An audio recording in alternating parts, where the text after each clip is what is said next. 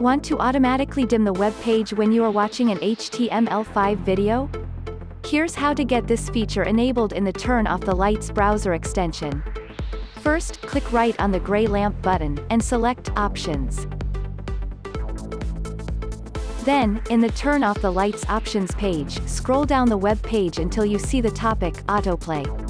Next, enable the checkbox to automatically dim the web page when you click on the play button and vice versa.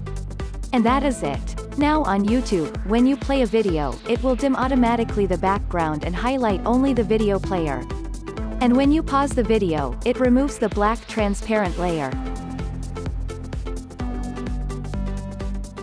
For more helpful tips, subscribe to the Turn Off the Lights channel or click another video to keep watching.